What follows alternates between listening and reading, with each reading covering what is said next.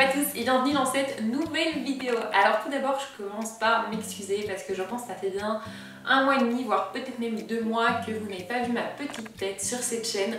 Je suis vraiment navrée, j'ai complètement été dépassée par le travail et je dois vous avouer que YouTube à ce moment-là n'était pas ma priorité. Mais aujourd'hui je me rattrape et ça y est, on reprend les vidéos. Donc je vous dis d'avance, rendez-vous tous les dimanches sur la chaîne à 18h pour une nouvelle vidéo. On commence en force avec une vidéo je pense va vous plaire énormément, à savoir comment commencer la méditation. C'est parti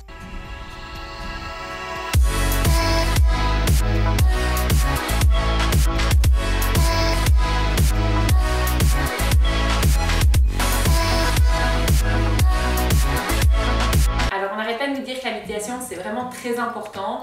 Je pense qu'on a tous compris le concept, mais comme toute nouvelle activité, il y a quelque chose qui nous manque, à savoir comment commencer. Au début, on est toujours submergé, on ne sait pas trop par où commencer, que faire en premier, que prioriser, etc. Et bien devinez quoi, je suis là pour vous aider. Première chose à laquelle apporter l'attention, l'environnement. Autant vous le dire tout de suite, faire de la méditation en cuisine, donc dans votre cuisine avec vos enfants qui courent partout, oubliez, ça va complètement effacer tous les effets. Mais on n'est pas obligé non plus d'aller s'enfermer dans un bunker pour pouvoir réussir à faire une méditation correctement. S'il fait beau, je vous conseille forcément d'aller méditer dehors. Alors à cette période, à la période à laquelle je tourne cette vidéo, c'est pas vraiment euh, la période idéale, quoi qu'il fait pas dégueulasse. Mais euh, l'idéal c'est vraiment de se trouver dans une pièce dans laquelle il fait à peu près calme, d'accord? Vous n'allez pas être perturbé.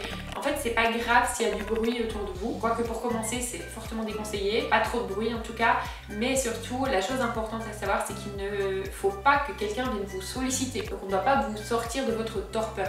Ça vous fera d'autant plus d'exercice s'il y a du bruit autour pour rester concentré. Mais si quelqu'un vous titiller, typiquement un enfant, maman, maman ou papa, papa, on oublie parce que là, on n'y arrivera jamais. Donc choisissez un environnement relativement calme, un environnement dans lequel vous vous sentez bien.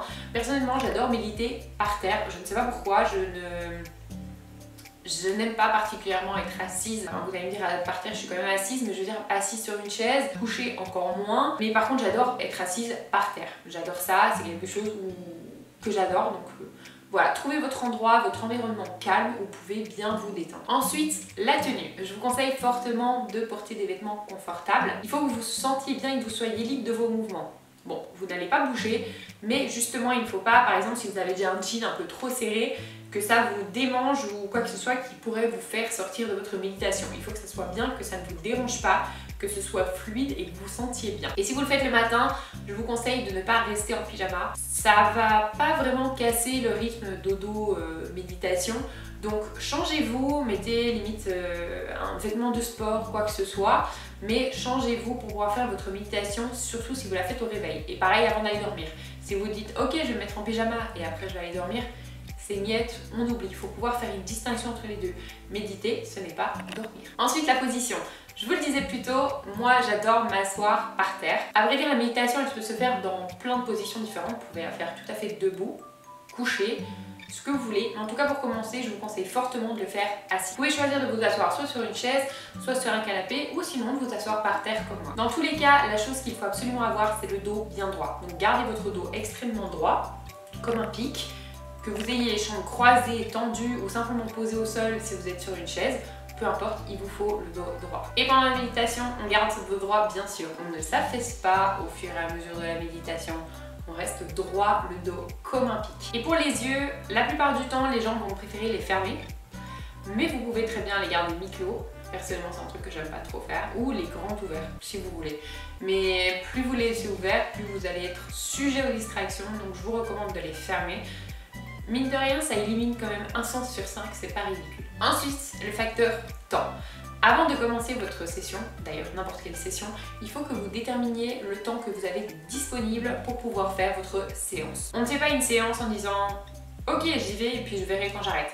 Non, parce que quand vous êtes en méditation, vous perdez totalement la notion du temps. Donc vous pouvez avoir l'impression d'avoir fait 15 minutes en fait vous allez voir que vous en avez fait deux. Inversement aussi, potentiellement ça peut arriver, mais au début ça va plutôt être l'effet inverse. Mais en tout cas, l'idée c'est vraiment de se dire ok, je me lance, je fais 5 minutes, 10 minutes, 15 minutes, 20 minutes, 2 heures, peu importe. Choisissez, quoi que pour commencer, on fait plutôt des petites laps de temps. Mais dans tous les cas, il faut que ça soit déterminé. Vous pouvez mettre un timer pour vous guider.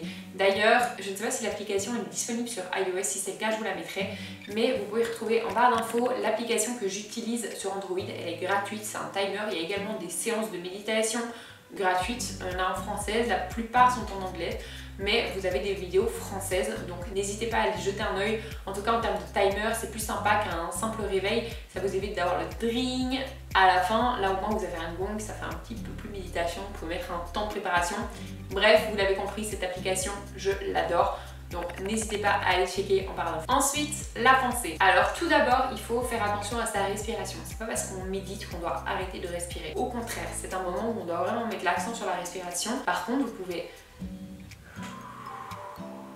à calmer votre respiration justement pour l'abaisser et éliminer ces petits à-coups de respiration que vous pourriez avoir. Et bien souvent, il faut savoir qu'en méditation, les gens pensent que la méditation, c'est ne penser à rien. Pas du tout. Pouvez vous dire, je ne pense à rien, mais c'est pas très naturel, vous allez vite le voir. Justement, se dire on ne pense à rien, on pense à quelque chose. Ce qu'il faut en fait dans la méditation, c'est se concentrer sur quelque chose. À vous de choisir, vous pouvez vous concentrer sur votre respiration, vous pouvez analyser, faire une analyse corporelle. Donc imaginez que vous êtes euh, un petit fil rouge et que vous regardez dans votre corps, vous partez de vos orteils et vous montez jusqu'à votre tête.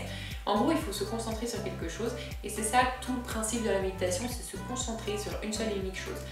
Je vous mets au défi, mettez 5 minutes de timer avec l'application que je vous ai recommandée, partez 5 minutes et vous allez voir, compter le nombre de fois où votre esprit divague. C'est incroyable. Alors que sur une journée, on a à peu près 60 000 pensées qui nous traversent l'esprit. 60 000 pensées, c'est juste incroyable. Et c'est là tout l'intérêt de la méditation, c'est justement de calmer ces pensées et de ne pas se laisser submerger par elles parce que finalement c'est plutôt elles qui vont vous diriger que vous qui allez diriger votre pensée. Et finalement si je peux vous donner un petit conseil supplémentaire c'est que si vous le faites le matin n'allumez surtout pas votre téléphone entre temps. Alors oui je viens de vous dire le timer etc. Bonne nouvelle, vous pouvez l'utiliser en mode avion. Donc n'allumez pas votre téléphone, n'allez pas sur les réseaux sociaux. Sinon vous allez un peu ouvrir, euh, c'est un peu comme si au réveil vous ouvriez une brèche vers le reste du monde. Sauf que ce qu'on veut c'est rester dans notre monde à nous. Donc n'ouvrez surtout pas la brèche vers le monde extérieur, en tout cas pas encore, ça attendra bien 5-10 minutes. Accordez-vous du temps, parce que oui, vous êtes important, et vous êtes dans votre vie beaucoup plus important que les autres. Comme moi dans la mienne, actuellement je suis plus importante que n'importe qui d'autre. Désolée, mais je l'admets. Donc voilà, on n'allume pas son téléphone dès qu'on se réveille. Excellente chose pour ruiner sa journée. Voilà, j'espère que ça vous a plu et si vous voulez aller un petit peu plus loin dans la méditation, je peux vous conseiller quelques applications, je vous les ai mis en barre d'infos. Les applications sont mais vous avez en général 7 jours, enfin 7 méditations gratuites, donc vous pouvez faire ça éventuellement 7 jours. En tout cas, pour découvrir les bases de la méditation, je trouve que c'est plutôt pas mal.